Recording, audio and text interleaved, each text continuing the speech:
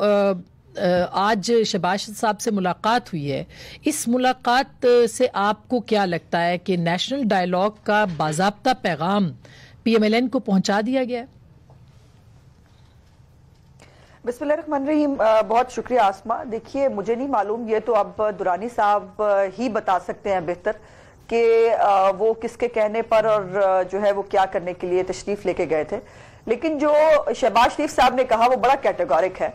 और उन्होंने बताया कि वो पार्टी डिसिप्लिन के पाबंद हैं और जो पार्टी फैसला करती है, वो उसी को वो करते हैं। अब ये आपको पता है, वो शीन निकालने की बातें और ये हो जाएगा और वो हो जाएगा और ये खानदान में फूट है। ये एक पुरानी मतलब घिसी पिटी एक स्क्रिप्ट है जो ये चलाने की कोशिश करते रहते हैं। देखिए, इस मुल्क को जिन हालात पे, जिस नहज पे ये ले आए हैं वहाँ से आगे कैसे बढ़ना है यकीनन ये बहुत मुश्किल काम है। एक तारीख रास्ता है और उस पर कोई जो है वो समझ नहीं आ रहा जहाँ ये मीशत को ले गए हैं।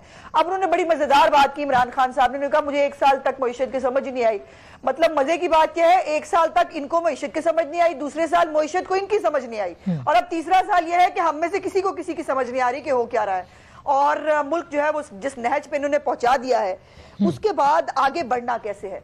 ये बात तो तय है जो पीडीएम ने तय की है और वो ये है कि इमरान खान के घर जाने से पहले हम्म। कोई बातचीत नहीं हो सकती अगर कोई बातचीत होगी तो वो पीडीएम के प्लेटफॉर्म से होगी। अलहदा अलहदा इंडिविजुअल बातचीत नहीं हो सकती हम्म। और दूसरी इंपॉर्टेंट बात जो है इस हवाले से वो ये है कि ये जो अभी हमें तो इस्तीफे देने हैं नहीं देने हैं वो कहाँ तक बात पहुंचेगी ये जरा अपनी मैंने कई दफ़ा इनको कहा था कि अपने इर्द गिर्द देखिए आपके कालीन खिसक रहा है पैरों के नीचे से आज जो एमक्यूएम ने कहा जो सेंसिस के ऊपर इनका एक स्टांस रहा है उनको अब करते चाहते ना चाहते उनको अब सामने आना पड़ेगा वो अब कराची के आवाम को आके फेस करें या हम्म। रहे इस कैबिनेट के अंदर के वो कराची के लोगों के नुमाइंदे बनते हैं तो इसका मतलब ये है कि आप भी ये कह रही है आप भी ये कह रही हैं कि ये दोनों जो डेवलपमेंट्स हैं ये अनयूजुअल हैं कि एक तरफ़ से धमकी आना एम की दूसरी तरफ़ से शहबाज शरीफ साहब से मोहम्मद अली दुरानी साहब का मैं सिर्फ़ मैं सिर्फ़ कंप्लीट कर जी। मैं सिर्फ़ कंप्लीट कर लूँ कि अब मैं हमने जो कहा था ना कि जनवरी का महीना बहुत इंपॉर्टेंट है। हम्म। और जो हमने इकतीस जनवरी की डेट दी है वो इसी तरह इसलिए दी है।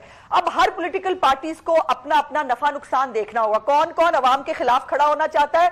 किस किस को तीन सौ रुपए दर्जन जो अंडे है ना वो वारा खाते हैं क्योंकि वो ईमानदार अंडे हैं। और जो करप्ट अंडे थे जो है वो नब्बे रुपए में दर्जन मिल जाया करते थे। इसी तरह आटे और बाकी चीज़ों का हिसाब किताब है। अभी बिजली की दोबारा जो है वो रेक्विजिशन गई है। शायद बिजली का नर्क फिर बढ़ने वाले हैं। हाँ, गैस आ नहीं रही है। क्यूलिक को भी अपना फैसला पंजाब में करना होगा। बिल्कुल। क्यूलिक अच्छा। को भी अपना फैसला करना होगा। हम्म। वो परेज लाई साहब जो है वो स्पीकर बनकर जो है इन पे बरसते कहर बरसाते रहते हैं।